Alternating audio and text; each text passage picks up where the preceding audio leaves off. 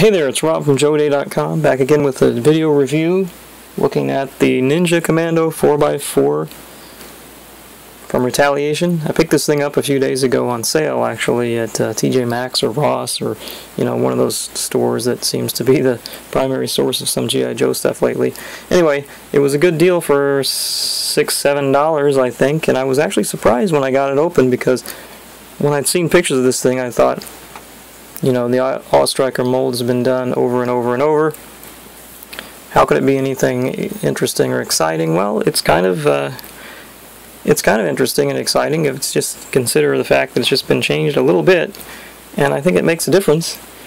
Um, mainly the roll cage is what was added and changed, and that was kind of it's kind of neat. It kind of resembles the vehicle that we saw in the movie that Snake Eyes and Jinx, I think it was, were driving along in the mountains with. So it's a neat little thing. It's got a couple of foot pegs here in the back like in the old days so you can stick a couple guys on there. Of course it's got the giant missile launcher which in a movie line you have to have the giant missile launcher. Let's just face it folks, it's it's here to stay if we if we ever get more G.I. Joe toys that is.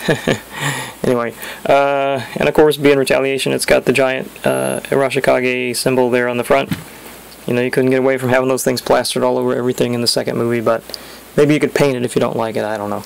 Um, it's still got a few things left over from some of the old molds, like the um, the engine back here and the camera. Is that a camera? I never could quite figure what, out what that was. Anyway, I think this uh, bumper here is new with the winch. I think. Maybe I'm crazy.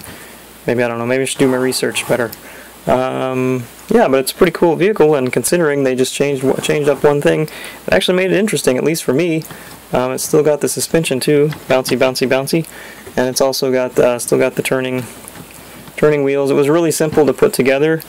Um, you just snap the wheels on, snap this on, snap the roll cage and the launcher on, and that was it.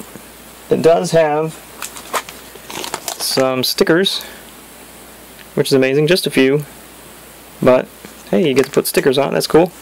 And then of course we get to the thing that people really couldn't stand about the movie, second movie vehicles, and that is the driver, which this time is Snake Eyes. And actually, considering its five points of articulation, yeah, that stinks, I know. Um, it's not a bad design, really. Um, it's kind of got he's kind of got a motorcycle jacket look there with the kind of padded, padded look, and then the you know just the regular, uh, you know, military style pants, I guess, with the knee pads, which we've seen since like Pursuit of Cobra, that kind of style. Kind of a different looking. Um, mask than what we saw in the movie, but I think it might have been the same one that was on some of the figures, for the movie figures, I don't really recall, but it looks like it. And then it's got some neat, a uh, little bit of neat finishing on it because this, these parts here are glossy and then other parts are kind of flat. So at least there was a little bit of attention paid to that. And hey, I mean, if it's an, if you don't like, if you like your figures with uh, just kind of static, without any kind of action pose or whatever with these 5 POA figures, it's decent. Uh, I know it's not what we expect with G.I. Joe, but it's decent. And there's, you know, with 5 POA, you get that vintage Star Wars vibe from it. So I know that's not really something to sacrifice G.I. Joe's articulation for, with, but I find it interesting at least, especially with the way that the the build of the figure is affected, and the the fact that you don't have these uh, ball joints at the at the shoulders and hips that kind of um, change the you know the makeup of the way that depicts a figure, you know, a human figure. So it's interesting in that aspect, I guess, and you just stick the guy inside the vehicle when he drives it. That's pretty much all it's meant to do. There's no weapons for him. Um, and this is a similar thing that we see in all the in a lot of the other uh, Hasbro lines with the driver figures, like the Marvel movies and things like that. And it's just you know it's cost saving. But hey, at least we got a figure. I don't know. That's about all I can say. I know it's a whole can of worms with that stuff, but I don't know. I'm kind of I'm kind of into these simplistic figures anyway in some in some senses, and uh, it's a shame that it's in GI Joe, but I can appreciate it for what it is.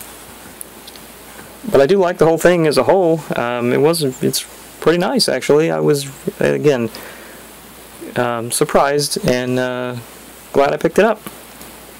So yeah, the AWE Striker, excuse me, the Ninja Commando 4x4 from Retaliation. It's Rob from Joe A Day.